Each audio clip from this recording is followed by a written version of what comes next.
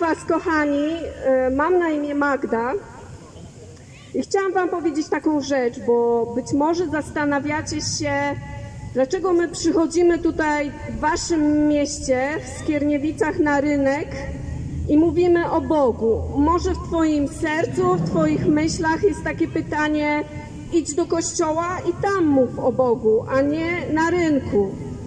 Ale kochani, popatrzcie, kiedy Jezus był tutaj na ziemi, to On wychodził do ludzi.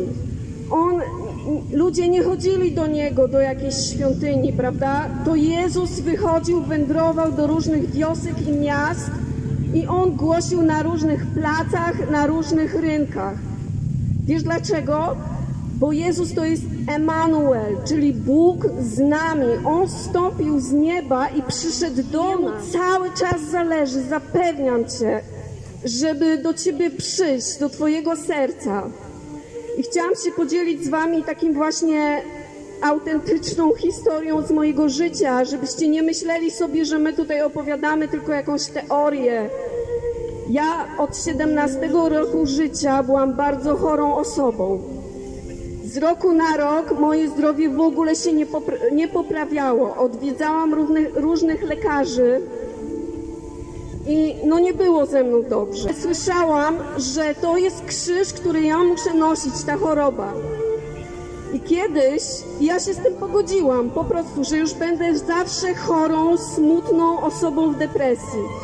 Ale kiedyś, kiedy ja do Boga mówiłam, potrzebuję Cię, tak bardzo Cię potrzebuję, wyszłam sobie na spacer i właśnie na takim rynku takie zwykłe osoby, które na co dzień chodzą do pracy, mają dzieci, mają żony, męża, głosili mi o Bogu prawdziwym. I tam padły takie słowa: Jezus chce, żebyś była zdrowa. Ja mówię, jak to? Jezus chce, żebym była zdrowa, to On nie chce, żebym ja nosiła tej choroby jako krzyża?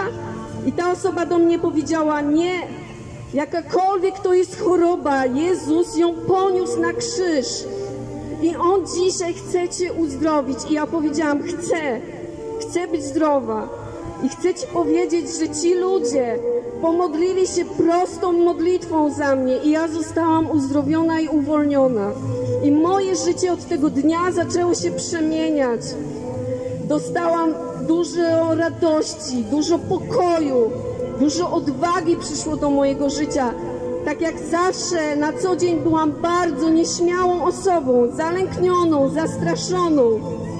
Tak Bóg zaczął mnie uwalniać, kochani, do tego stopnia, że gdybyście mnie znali jeszcze 10 lat temu, nigdy byście nie powiedzieli, że ja mogę powiedzieć coś na rynku przez mikrofon. Ale chcę Ci powiedzieć, to nie jest tak, że ja jestem odważną osobą. To jest Boży dar, to jest Boży dar łaski. Ja chcę to ogłaszać, że Jezus jest dobry, że On chce być obecny w Twoim życiu, chce być blisko Twoich problemów, chce być blisko z Tobą i to On chce je usuwać z Twojego życia. Nie, żebyś Ty sam to robił, ale razem z Nim i żebyś mógł doświadczać, jak inne jest to życie, jaki ma inny smak, jaką ma inną wartość. Kochani, jest też bardzo ważna rzecz, żebyście wiedzieli, bo dużo się mówi w Polsce, w polskim kościele na temat tego, jak pójść do nieba, jak być zbawionym. Ale my nie możemy sobie tylko tak mówić, tylko musimy mówić tak, jak powiedział Bóg w swoim słowie. Jest powiedziane, że zbawienie jest z łaski. Z łaski. Wiecie, co to znaczy? Że to jest Boży dar.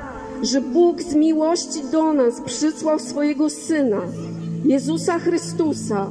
Bo jest powiedziane, że Bóg tak Cię umiłował, że posłał swojego Syna.